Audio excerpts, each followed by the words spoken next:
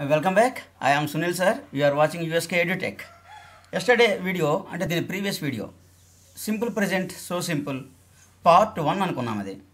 Right now this is part two part వన్లో always true అనే కాన్సెప్ట్తో ఎక్స్ప్లెయిన్ చేసాము ఇప్పుడు పార్ట్ టూలో ఈ ఫిక్స్డ్ అరేంజ్మెంట్స్ సింపుల్ ప్రెంటెన్స్లో వాడాలట చూద్దాం. సిం ఫిక్స్డ్ అరేంజ్మెంట్స్ ఒకటో point second negative and question simple ప్రెంటెన్స్లో negative ఎలా? క్వశ్చన్ ఎలా? ఫస్ట్ అయిపోయింది always true second fixed arrangements ఈ ఫిక్స్డ్ అరేంజ్మెంట్స్ కోసం ఏం మాట్లాడదాం? చూద్దాం. ఎలా ఉంటుంది? సింపుల్ ప్రింటెన్స్లో ఫిక్స్డ్ అరేంజ్మెంట్స్ మాట్లాడేటప్పుడు here it is the sentence must be fix ninety percent ఎలా? The P M visits China tomorrow. ఇక్కడ పిఎం విజిట్ అనేది ఫిక్సా కాదా? పిఎం విజిట్ చేయడం. దీన్నే ఇలా రాస్తాం మనం?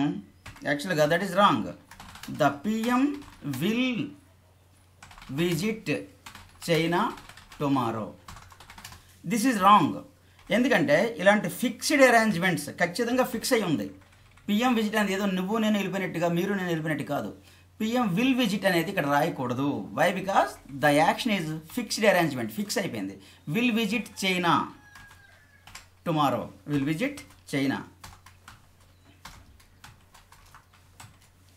tomorrow ఇది రాంగ్ అని అన్నావు. ఇది ఎందుకు రాంగు ఏమనుకున్నాము? ఫిక్స్డ్ అరేంజ్మెంట్స్ని సింపుల్ ప్రిన్సెస్లో చెప్పాలి. అందుకు P M visits China tomorrow is right visits అంటే వెర్బ్ చివరిలో ఎస్ ఉంటే వి వి ఫైవ్ అంటే ఏంటిది? థర్డ్ పర్సన్ సింగులర్ పిఎం నేను మీతో చెప్తున్నాను నేను ఒకటి మీరు రెండు పిఎం మూడు. పిఎం మూడు plus one third person singular అందుకే వెర్బ్ చివరిలో ఎస్ ఉంది. పిఎం అలాగే the exams the exams starts in next month why this is fixed arrangement exams. ఒక షెడ్యూల్ ఉంటుంది ప్రీ ప్లాన్ ఉంటుంది. అందుకే ఇది ఫిక్స్ అయిపోయింది ముందుకే. అంటే ఫ్యూచర్ ఇది. ఫ్యూచర్నే మనం సింపుల్ ప్రెజెంట్లో చెప్తున్నాం. పిఎం రేపు వెళ్తాడు China.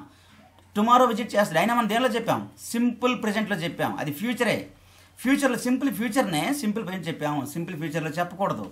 Fixed arrangements. Exams fix అయి ఉన్నాయి.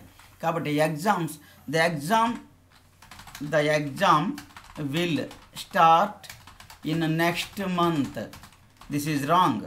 Why because already fix అయ్యి ఉంటే ఫిక్స్డ్ అరేంజ్మెంట్ కాబట్టి దీన్ని సింపుల్ బిజినెస్లో చెప్పాలి. Next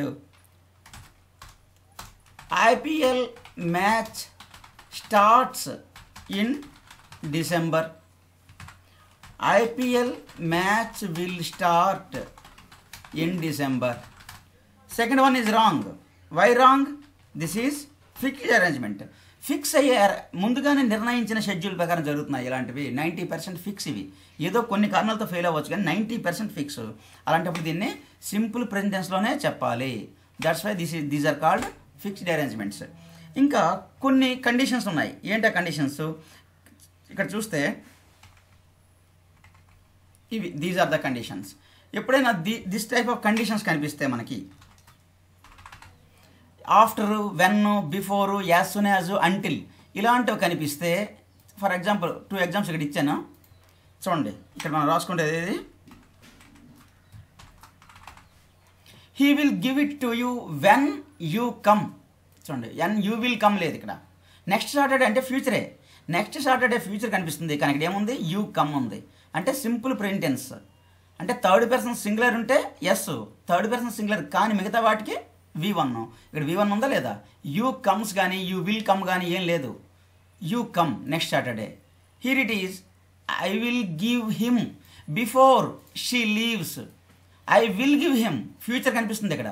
ఫ్యూచర్ కనిపించినప్పుడు ఈ కంజంక్షన్ తర్వాత ఈ కంజంక్షన్స్ తర్వాత వచ్చిన పదాలు వచ్చిన sentence simple present tense before he leaves as soon as he leaves as soon as he leaves until he leaves చూసారా? అంటే ఇలాంటి కంజంక్షన్ వచ్చిన తర్వాత వచ్చే సెంటెన్స్ కూడా సింపుల్ ప్రింటెన్స్లోనే ఉండాలి.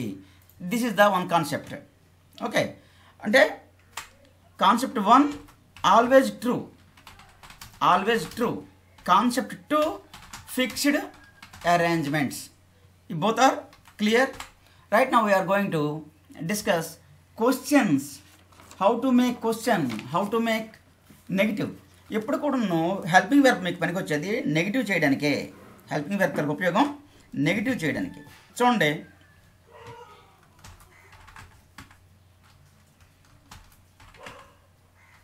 I like him I like him I like him negative question negative question do I like him sorry question do I like him negative I do not like him కాదు. వీటికి ఎక్కడి నుంచి వచ్చాయి? డూలు డజ్లు? అదే చెప్తున్నాం. అందుకోసం మనం మాట్లాడుతున్నాం. సింపుల్ ప్రెజెంట్ టెన్స్లో డూ డజే వాడతారు? డూ అంటే డజ్ అనేది third person singular third person singular కాని ప్రతి దానికున్న డూఏ ఓకేనా? She like she likes him. Does she like him? చూడండి ఇక్కడ. ఫస్ట్ ఏంటి? She likes him. ఆమె అతన్ని ఇష్టపడుతుంది. She third person singular. అందుకే లైక్స్ సెంటెన్స్ అయితే. అదే ఇక్కడ ఏమవుతుంది? క్వశ్చన్ అయ్యింది. క్వశ్చన్లో డజ్లోకి వచ్చింది ఎస్ చూడండి. ఎస్ డజ్లో ఉంది. డజ్లో ఎస్ ఉంది అప్పుడు ఇప్పుడు మరి లైక్స్లో ఎస్ రాదు.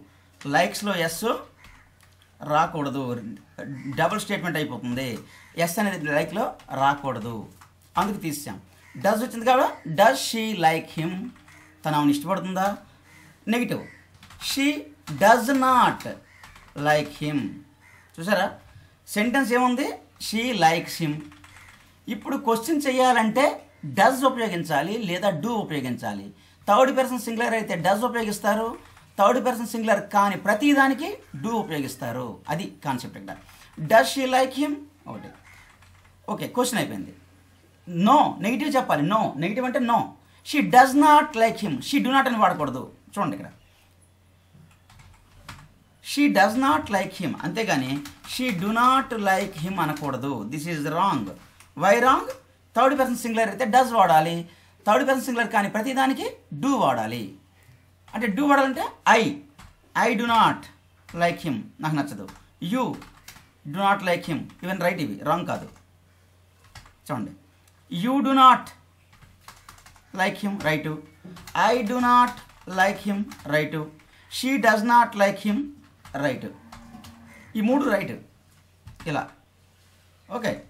She does not like him you do not like him I do not like him okay question ఈ మూడిటికే. ఈ మూడిటికి క్వశ్చన్ చేద్దాం. Does she like him do you like him do I like him ఇదనమాట అంటే మీరు తెలుసుకోవాల్సింది ఒకటే. డజ్ డూ గుర్తుపెట్టుకోవాలి. సింపుల్ ప్రెంటెన్స్లో డజ్తోనే డూతోనే క్వశ్చన్స్ తయారవుతాయి నెగిటివ్స్ తయారవుతాయి. We use we use do and does in simple in simple present to make questions and negatives okay negative తయారు చేయాలన్నా క్వశ్చన్ వేయాలన్నా డూ డజే వాడతాం. డజ్ అయితే థర్డ్ పర్సన్ సింగులర్కి థర్డ్ పర్సన్ సింగులర్ కానీ ప్రతిదానికి డూ ఏ అంటే ఇప్పుడు పార్ట్ టూలో నేను చెప్పిన కాన్సెప్ట్ మీకు అర్థమైంది అనుకుంటాను thank you for watching bye meet next video